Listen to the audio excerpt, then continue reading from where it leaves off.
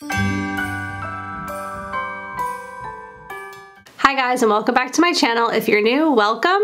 I am really excited to talk today about hosting a book club because I have been hosting book clubs in various different ways, especially this year, 2020, I had to get really creative.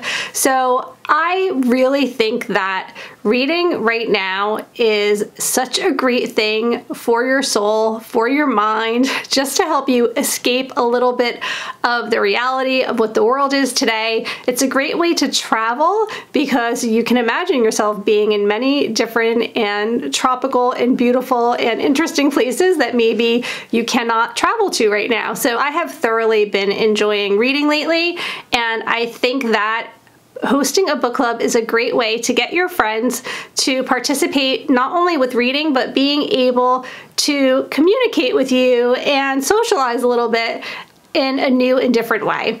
So today I'm going to share with you some tips and tricks to hosting a book club in various different ways. If you're not subscribed to my channel, please go ahead and hit that subscribe button down below so that I can update you every time I share a new video. There are lots of fun things coming up on my channel, especially going into the holiday season. Alrighty, so the last book club that I hosted was this book, Home Before Dark, and I did it around Halloween. And one thing I can say is if you host a book club during a holiday season, it's so much fun to theme it up around the particular holiday. So obviously this was around Halloween. I love Halloween, so I had a great time hosting a book club where we all read a spooky haunted house book and I was able to invite a few of my friends to my spooky haunted house. And we were able to do this very safely if you've been following my channel, my town has had very, very minimal numbers up until more recently. So I was able to spread everyone apart and it was only, I think, four people, so it, it wasn't that excessive. And we sat in a large room distanced from each other and we discussed the book. And the other book that I am currently hosting with my Patreon book club is this book. So I'm going to do another holiday themed book club, but this one is going to be virtually. And this is one day in December. So we're going to all meet in a Zoom call and we're probably going to have hot chocolate and I'm going to theme it up. I will reach out to my patrons as it gets closer and we'll talk about how we want to do this book club together. I always love to have input of the other people that are participating so it's not all one-sided. And there is still time if you want to be a part of my Patreon book club.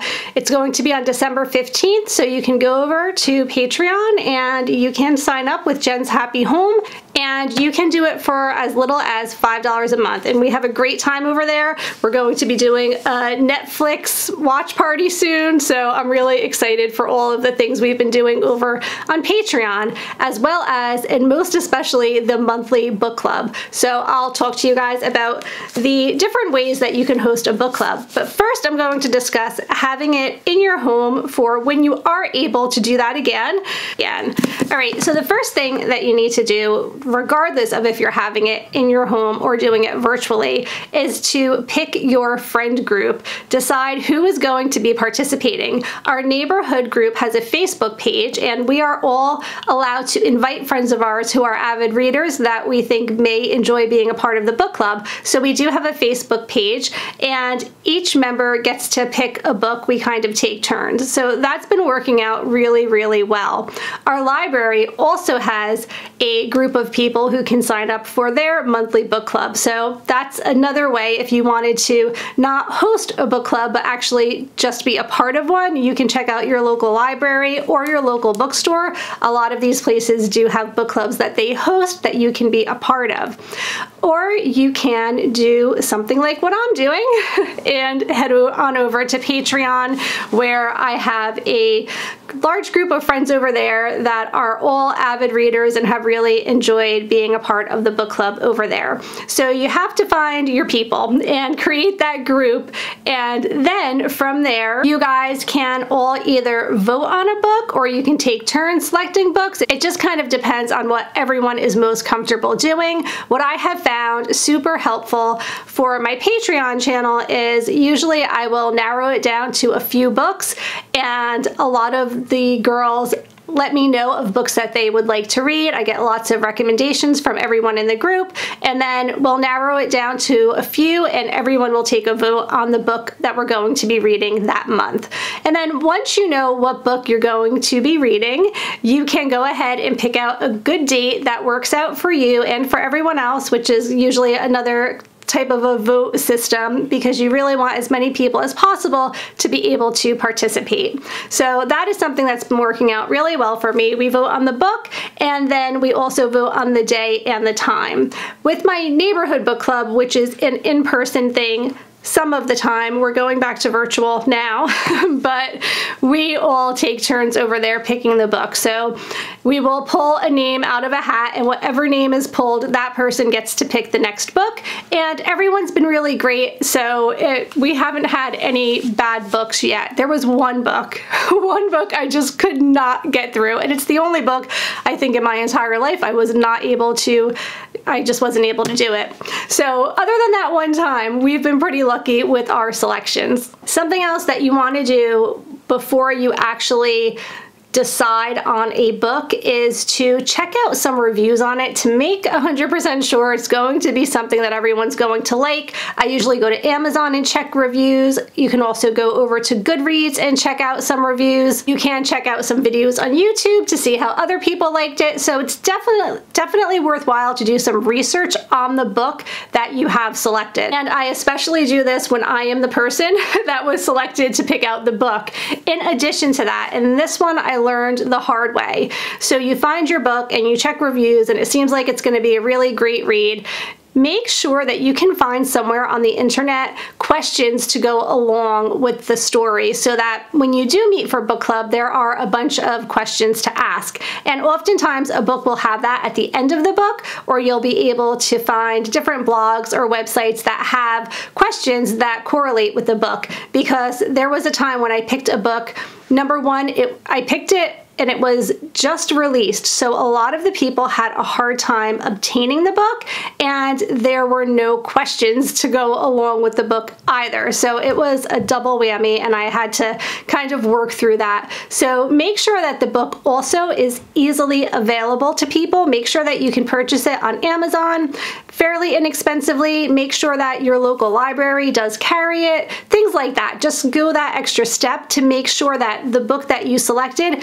is going to be able to be obtained by the rest of the people in the group because it's very frustrating when nobody can actually get the book that you have chosen. Okay, so now that you have selected your book and you have your group of people that are interested in being a part of your book club and you have the date picked and everybody decided that the day and the time works, so now you're going to either have it at your house or you're going to have it virtually. So when I had it at my house for this book, which is is Home Before Dark by Riley Sager. I was so happy that I selected this because everyone loved it and it was really, really a great read and I was super excited to host it. So I made lots of really sweet treats for the most part because we did have this book club on Mischief Night so I wanted to kind of play into the whole Halloween theme. So that was so much fun. The day before I made a bunch of sweet treats. I made brownies and I made little pretzels with Rolo stuck in the middle with M&Ms and then I also had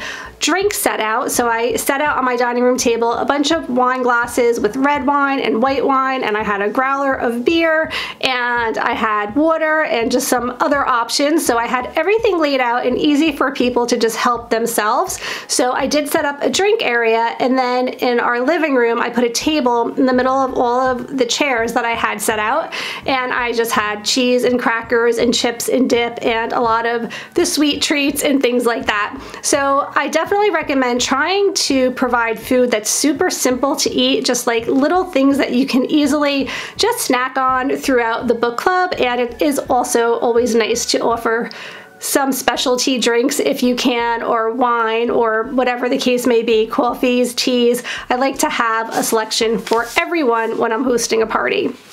And then Again, because it was Halloween time, I picked the haunted house book.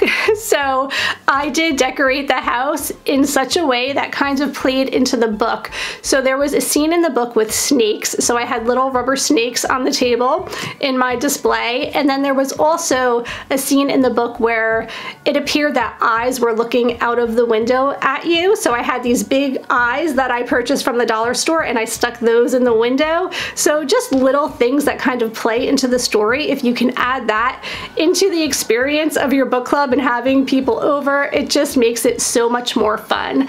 And something else that I did was I printed out all of the questions for everybody so when they arrived they could sit down and take a look at the questions so that they could kind of think ahead of what they were going to answer to each question. And I also just propped the book up on a little easel in the living room so that people could reference it if they needed to and some people actually did need to reference it so it was good to just have the actual physical copy on hand.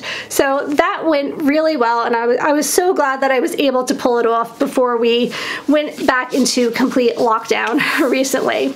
Okay, so now that we are in a different place with everything going on, we are going to be doing a virtual book club. I am going to be doing one, like I said, with my patrons.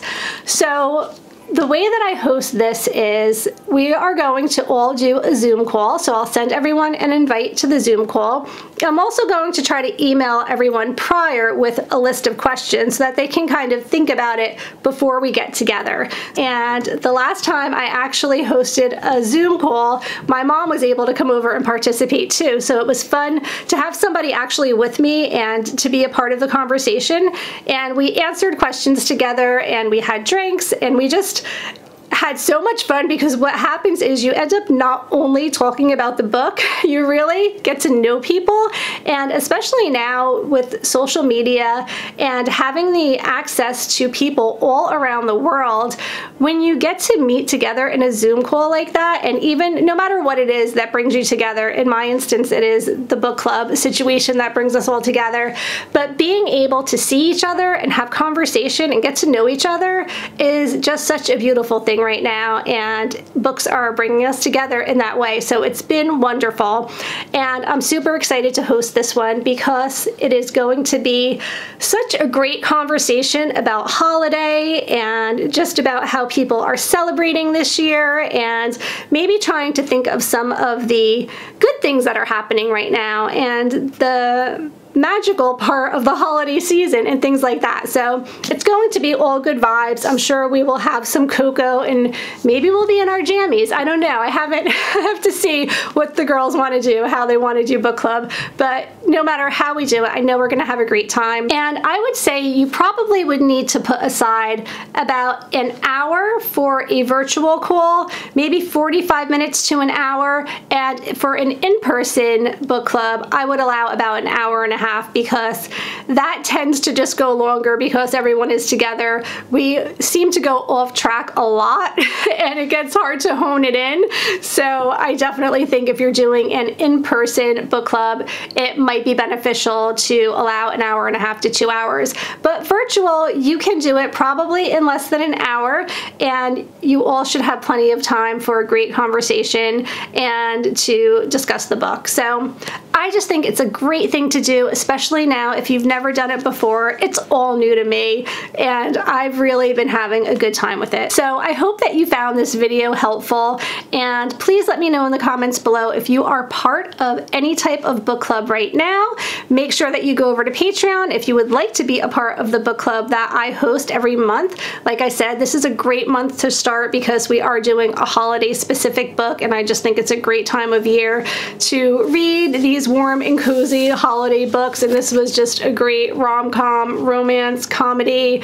It really it made me cry. Like it was just such a beautiful story. So I think it is so much fun. And thank you so much for watching. If you haven't subscribed, please go ahead and hit that subscribe button. Make sure that you hit the bell notification somewhere up there if you want to be notified every time I share a new video.